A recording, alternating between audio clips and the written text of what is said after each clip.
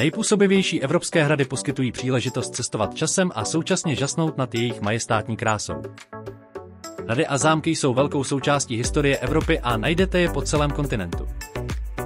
Mnohé působí, jako by byly vytrženy přímo z fantasy románu. Kromě toho má každý hrad svůj vlastní nespočet příběhů a legend. Celé Evropě je nepochybně mnohem více hradů, zámků a paláců, které jsou stejně působivé, ale v dnešním videu budeme hovořit o deseti, které patří k nejpozoruhodnějším v celé Evropě.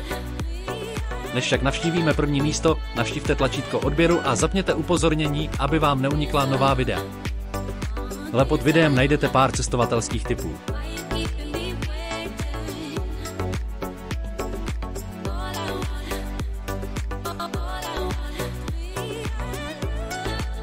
Číslo 10. Eileen Donen, Skotsko.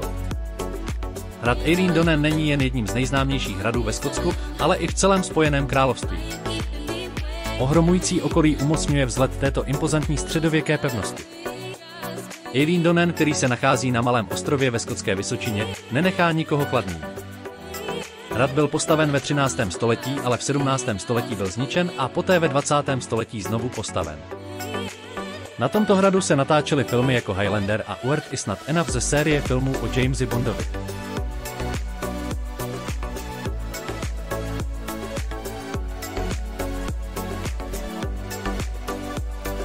Číslo 9. In Love with Wind, Bulharsko. In Love with Wind je jediný nově postavený hrad v Evropě. S nádhernými stavbami z mramoru a metamorfovaného vápence je tento hrad přímořskou pohádkou. Georgi Tumpalov, architekt a developer, se rozhodl splnit dětský sen tím, že na tomto holém poli nedaleko vesnice Ravadinovo postaví hrad, který vypadá jako z pohádky. Tumpalov přilákal obrovské davy návštěvníků z celého světa. Zámek získal první místo v mezinárodní soutěži E Design Awards 2016.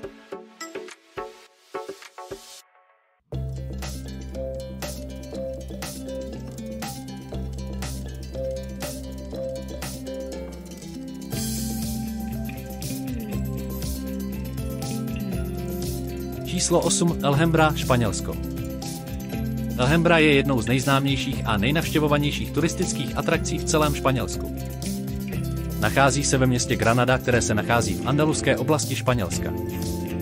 Alhambra je také na seznamu světového dědictví UNESCO. Velké množství písní, básní a příběhů bylo inspirováno smyslným maurským palácem a také jeho uchvatným prostředím na vyvýšené náhorní plošině nad čtvrtí Albejcín, kde zasněžené vrcholky pohoří Sierra Nevada slouží jako velkolepé pozadí. Nasričtí sultáni, vysoce postavení vládní úředníci, pracovníci soudu a elitní vojáci nazývali Alhambru během 13. a 14. století domovem. Alhambra má obranou oblast, do které patří pevnost Alcazaba, nasrické paláce a zahrady Generalife. To vše společně ukazuje jedinečnou kombinaci islámské a křesťanské architektury a také historii města.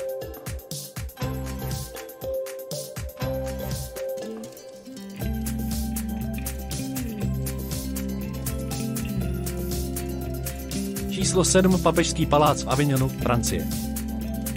Tato budova byla dříve používána jako pevnost a palác.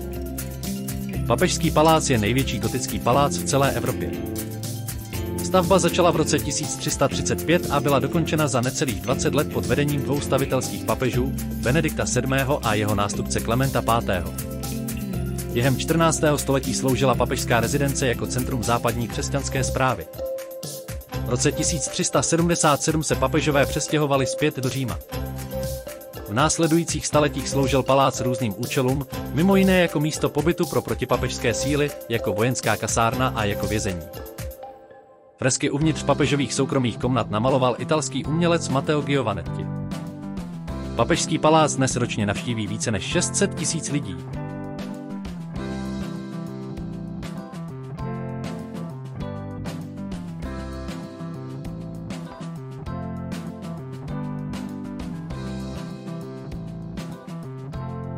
Číslo 6. Hrad Windsor, Spojené království. Hrad Windsor, který se nachází v anglickém hrabství Berkshire, patří k nejstarším a největším trvale obydleným hradům na světě. Téměř tisíc let slouží jako oficiální sídlo královské rodiny Spojeného království.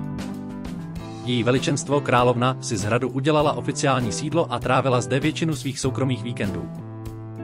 Zámek je často využíván pro oficiální akce a akce slavnostního významu. St. George's Hall je skvělým místem pro státní banket, protože má pouze jeden stůl, ale tento stůl se táhne po celé délce sálu a má místo pro 160 hostů. Hradní komplex je otevřen veřejnosti a návštěvník se dostane prakticky všude.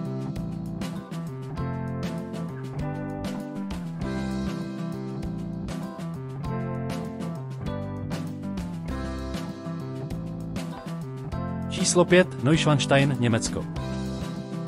Zámek Neuschwanstein je nejnavštěvovanějším zámkem v Německu a také jedním z nejkrásnějších zámků na celém světě. Zámek je postaven v románském stylu a byl postaven v 19. století. Tato ikonická budova byla inspirací pro zámek šípkové růženky od Disneyho. Stavba hradu trvala déle, než se předpokládalo v důsledku ambiciozního projektu a nepřesných termínů. Stavba tedy trvala podstatně déle než předpokládané tři roky více než dvě desetiletí. Každý rok Neuschwanstein navštíví přes milion turistů, z nichž několik tisíc přijíždí každý den během rušných letních měsíců. Zámek a jeho okolí jsou opravdu nádherné. Při pohledu na zámek, okolní lesy a hory se budete cítit jako v pohádce.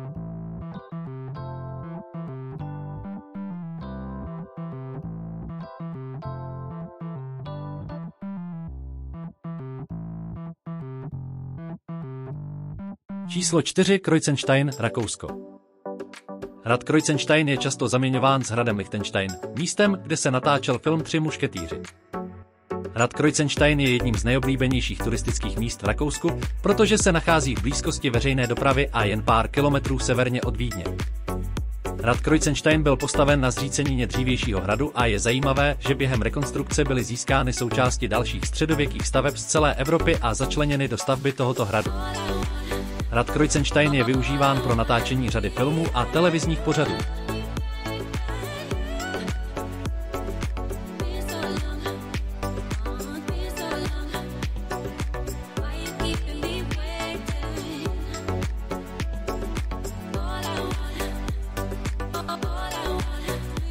Číslo 3 Castillo de Coca, Španělsko.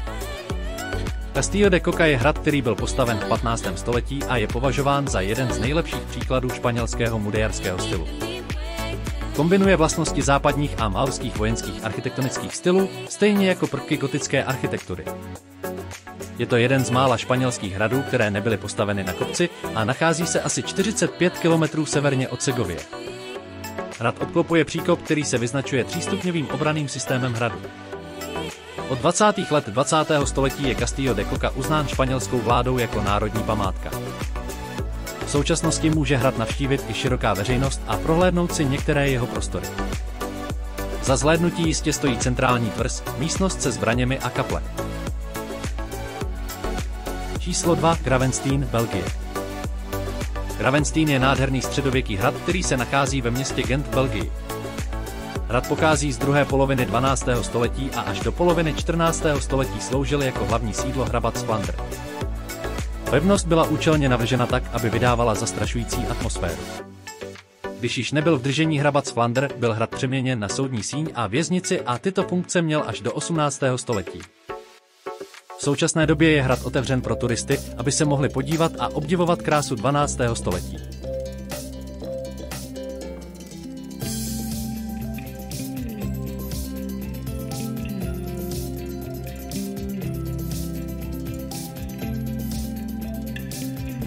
Číslo 1. Hohenzollern, Německo. Hrad Hohenzollern je všeobecně považován za jednu z nejdůležitějších staveb a památek v regionu Bádensko-Württembersko v jeho západním Německu. Hrad stojí na hoře Hohenzollern a byl postaven v roce 1850 poté, co byly zničeny první dva hrady na stejném místě. Impozantní hradní komplex, který se nachází na vrcholu hory, se svými mnoha věžemi a budovami lze snadno zaměnit za něco z fantasy světa. Hrad se skládá z několika různých typů budov, včetně kaplí, palácových staveb a zahrad. Hrad se nachází v nadmořské výšce 855 metrů nad mořem, což nabízí jedinečný výhled na okolní krajinu. Za jasného dne je od hradu vidět do vzdálenosti více než 100 kilometrů.